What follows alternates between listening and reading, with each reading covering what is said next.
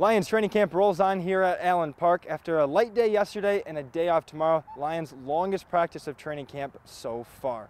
Offensively, Amon-Ra St. Brown continues to make plays.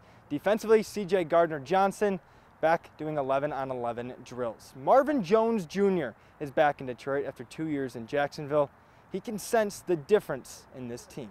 I think you can, but um, I mean, you just have to you just have to go in the field and do it, you know. And that's the thing is like you see, you can see this or you can see that, but it doesn't it doesn't matter. You know, what matters is what happens on when the lights are on. You know? Jameson Williams has had an up and down camp so far, dropping some easy catches today and getting into it with undrafted rookie Starling Thomas. He's also shown flashes of brilliance, catching a touchdown during live scrimmage. He get on my game even more, you know, uh, make me want to do do more just win. You know, I'm, I'm a winner. I try to win all the time, win every rep.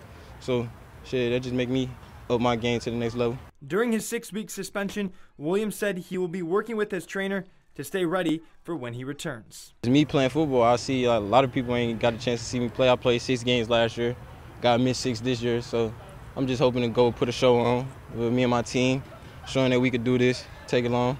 The veterans in the receiver room, especially a guy like Marvin Jones Jr., are helping bring along Jamo, calling them his big brother. Important for me, you know, um, and I, I think that's ever since you know I was in, I've got into the league. You know, even you know being young, I've always wanted to help, especially with somebody with the you know the potential, the potential that he has, the big playability that he has. Um, you know, it's, it's, it's been um, it's been great. Dan Campbell and this team have talked about the buzz. The fans showing it as well waiting and chanting players' names to get autographs after practice. Their next opportunity to be back here in Allen Park will be later this week. With the Lions at training camp, Thomas Cook, Fox 47 Sports.